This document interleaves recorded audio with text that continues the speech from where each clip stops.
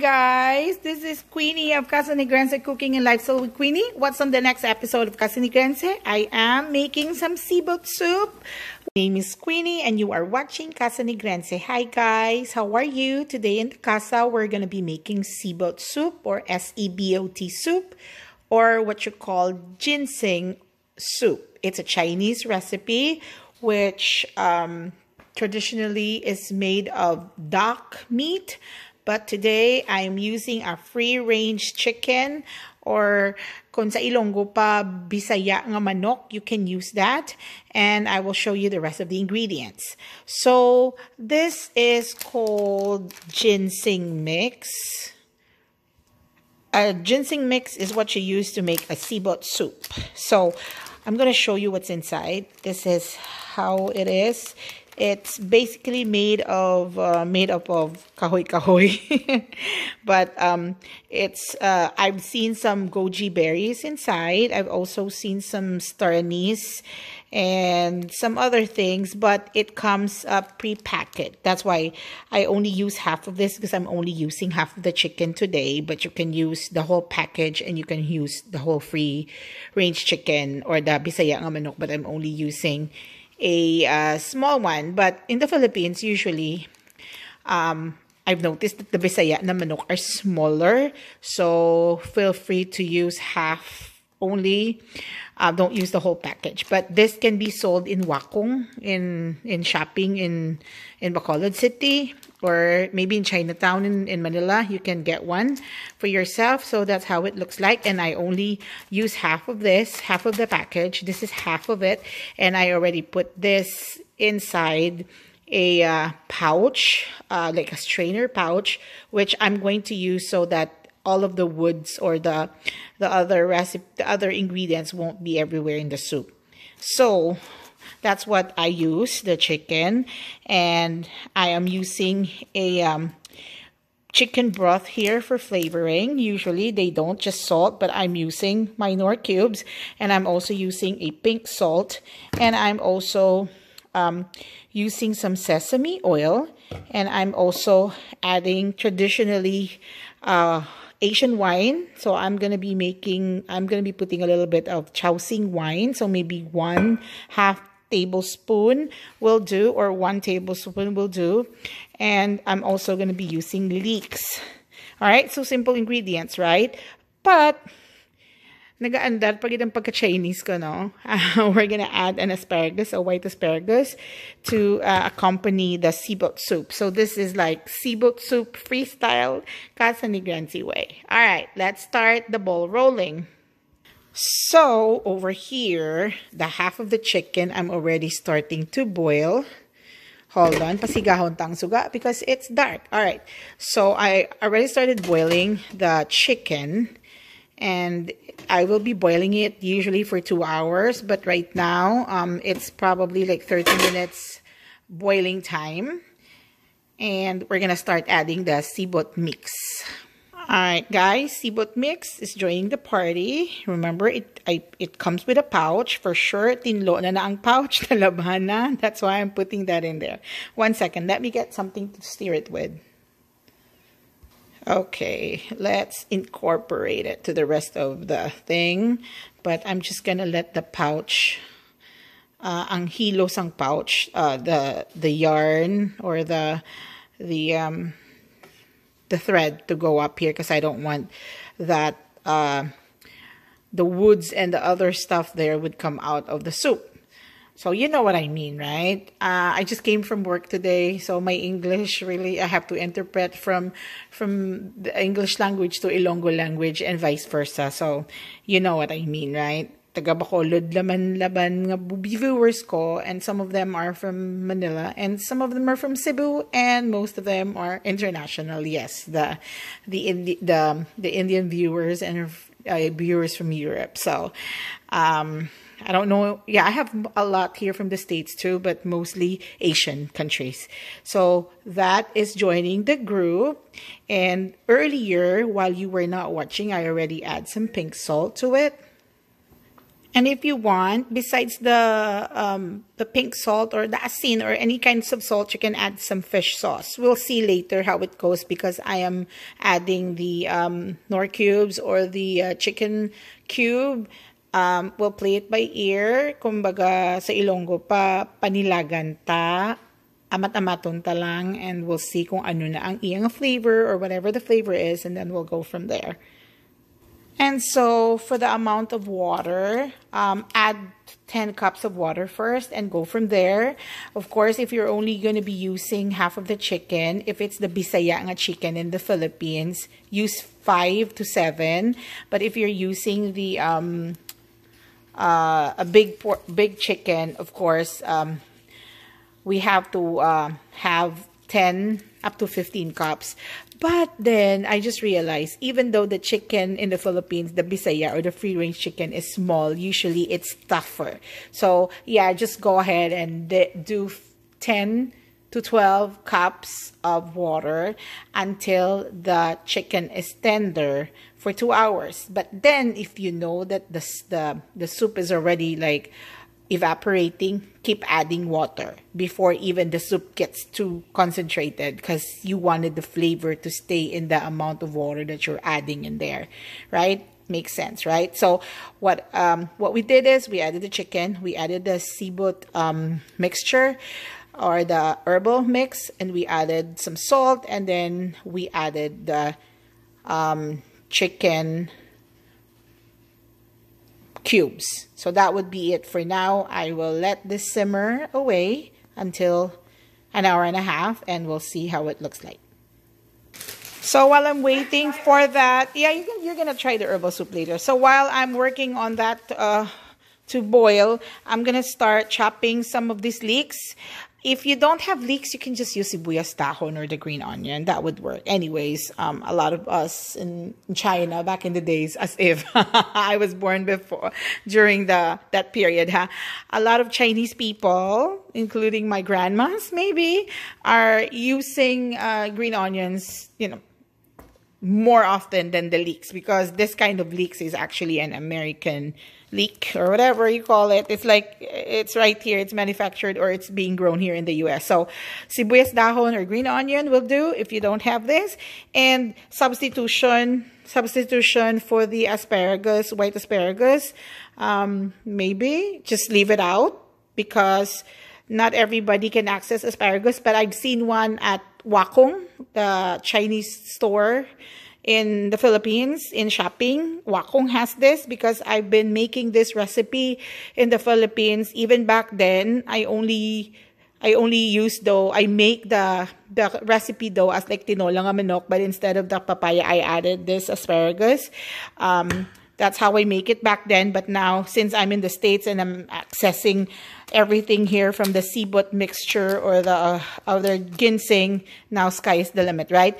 And of course, um, for this um, Shaoxing wine here, just make maybe put some sherry or some white dry wine. Don't put choktong ha or lambanog or, or ginebra. Don't do that. Just use or just get some, go to the Asian market or go to the Asian store in your local stores in the Philippines and access one of this. So, okay, um, we'll, we'll go from there. And of course, gali. If you don't have the pink salt, don't stress yourself. Just use ordinary salt. I think it's equivalent to the same taste and the same nutrient. So, okay, since the leeks is very big, no, I just uh, make I cut it into half half portion so this is how the leeks looks like. And this is the mushroom here. I already start I mean mushroom the asparagus. I started opening it. Actually this uh, asparagus is a little pricey. It's four dollars a can. I'll show you the price. Four dollars or almost five dollars a can. So um, this is optional if you want to add it or not. But actually the original Sebot recipe doesn't even have um, asparagus on it. I just love the taste of it. Kamuton ko na lang ha. This is how it looks like. Alright, white asparagus, it's really good. I will show you the other recipe of just the simple asparagus and chicken soup next time, but this time I am adding um, this white asparagus in can. I just want to be healthy today. Usually Sebot soup is being used as a medicinal or obviously because it's an herbal mix. Uh, it's a ginseng. It's an herbal soup that usually a lot of teenager Chinese are being fed by their moms uh, whenever they're reaching their adolescent stage because it I guess it enhances fertility.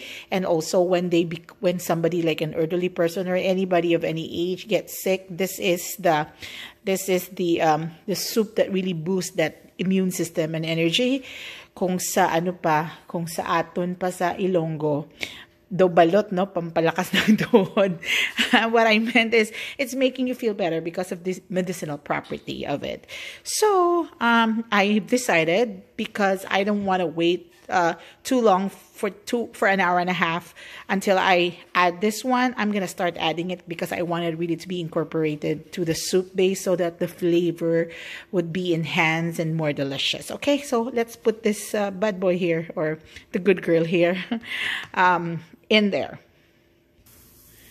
Alright, simmering away. Gain, mainit-init gid, no? Be careful because mapaso.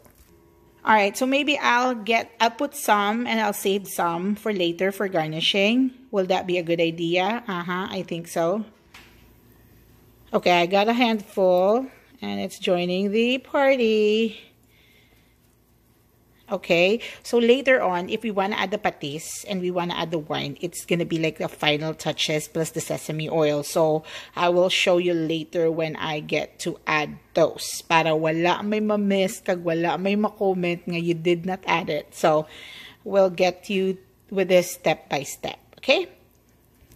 Of course, when you add something, you're expected to stir it so that all the flavor is going to be mixed through or mixed in and at this point, if you notice, gadutay na ang tubig niya. So you can actually start to add more boiling water. I would say boiling water know, or i-microwave nyo ang, ang microwave the um microwave the water first before you add in or if you don't have the microwave, boil it sa inyo takore or your kettle and then add the water in here. Maybe half a cup at a time so that the um so that you can still control the uh, soup base so that it's not going to be too light later and all the flavor of the chicken disappears because if you dump a lot of water in there, it's gonna malain ang iyang sabor. Okay? So we are still boiling this and obviously ara pa siya japo, no? It's still in there. Our pouch is still there and uh, if you notice the the color right now of the soup changes. It's getting darker. I didn't add any soy sauce or anything because it, this one doesn't require soy sauce unless you want to, but you may if you want, but I'm adding patis later. When you say patis in Tagalog, it's called the fish fish sauce, but in Ilonggo or in Hiligaynon, language when you say patis it's actually the soy sauce. But in here it's the fish patis that we're going to be putting okay? In short it's the rufina patis that all the filipinos are aware of.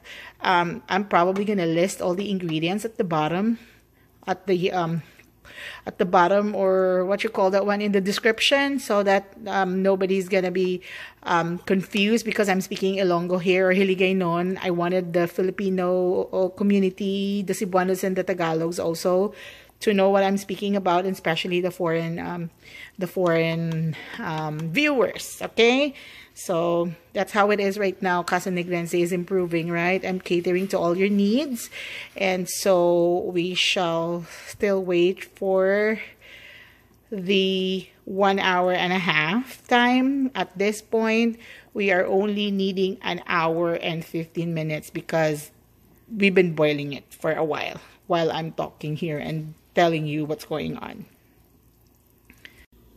All right, let's check after a long, long time, after a few years later now, after 30 minutes of boiling, now the water somewhat evaporated. So did you see I'm only adding half of the cup at a time? As what I mentioned, do it little by little. And guys, if you can only smell the lovely, lovely scent or the smell of it. You're gonna say like, oh my goodness. Um, Gabriel's been asking me if the soup is done, if the soup is done, because he's probably smelling the whole house and it's stimulating his um, um, sense of smell and now he's hungry. so, but that's the way, you know, you do it. You cook food so that your family will you know will will will smell the food. It entices their appetite and then or the sense of smell and then they want to eat your food right? Instead of making food and nobody's eating it. So anyways see i every time i added uh, water uh, i bumped the heat up a bit and then later on i will um, cover it and uh, put the fire a little bit lower right here there you go just be careful because all of the moistures are already on the thing, oh. So you're to end up cleaning your stove later after you're done with this. Alright, I shall see you in a few. Alright, it's time to check the soup. And guys, I tasted it earlier. I decided to add one more cubes of uh, chicken cubes. So all in all, there's already two uh, cubes in there because I added more water. I added more water. Why? Because I'm going to add the asparagus. And you don't want the, the um, it's a soup, right? So when you add the asparagus, of course, it's going to multiply in numbers. And you don't, you wanted it to look like a soup, not a, like a stew. So that's why I added more cubes. And at this point, um, we are adding some, whoops, some fish sauce, just an itty bitty one. So I would just say taste it according to your liking. Um, I didn't add pepper because the pepper it already comes in the package of the seafood soup but you with the seafood or the ginseng but you can add if you want you know it's your it's your kitchen you can do what you want so at this point we're gonna already start adding the wine i'll start with one half teaspoon or one half tablespoon the reason why I add it now to um so that it could evaporate because this is a soup, not an alcoholic drink. That's why, as I mentioned earlier, don't add those um, whiskeys or drinks that I told you earlier. Please don't. Just look for a dry sherry or a dry white wine, okay? Something that is light in color. And also put some pink salt or salt, adjust it according to taste. And um, we're going to put the sesame oil at this time. Just a little for now because I wanted to add more later because you know when you put some sesame oil it's gonna evaporate also. So if you wanted a pungent taste add one later before you um, you serve it so at this point I am also adding the asparagus so asparagus is drained and joining the party. Okay. Hold on. Let's stir it or let me show you how the um the uh oh my goodness, how the uh the chicken came out after almost two hours or actually two hours of boiling. It's very, very tender. So you know now that the um the chicken taste really or the chicken bones really enhances the taste of the broth. And here comes our asparagus, the white asparagus. It's just um it's um it I wanted this to be um still crispy or not really crispy but just al dente still uh, you know firm to the bite. Some people wanted it like too mushy or dunot na but I wanted it to still see the asparagus that's added in there.